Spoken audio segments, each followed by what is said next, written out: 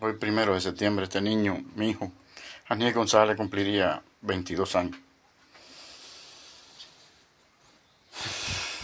Mire, ministro, usted que ha sido toda la vida el ministro de las Fuerzas Armadas, mire cómo nosotros los padres de estos niños, que somos miles de familias, celebramos su cumpleaños. Mire, mire, y tú sabes por qué por el abandono, por la indolencia, por la dejadez, el desorden, la miseria humana y por la impunidad con que funciona su institución.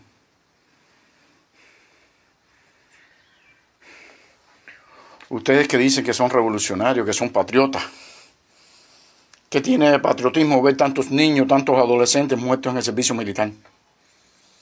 ¿Qué tiene de patriotismo eso? Pero son crímenes, ustedes lo que son unos asesinos que ven eso como normalidad. Durante 60 años, si usted saca la cuenta, son miles y miles de familias que han perdido sus hijos aquí igual que yo. ¿Y todo por qué? Por el falso concepto de ustedes de patriotas. ¿Qué carajo tienen ustedes de patriotas? Cuando ven esto como normal, como ven estos muchachos como si fueran seres desechables. Y pruebas tengo de todas estas muertes por tonga.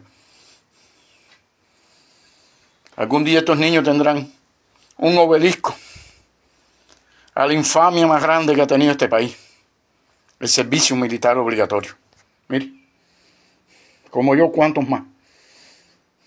Mire, ¿cómo usted cree que yo tengo la ansiedad y la rabia por esto?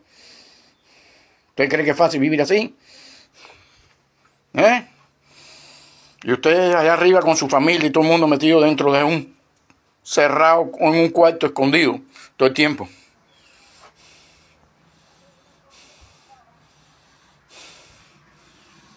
Felicidades, mi niño.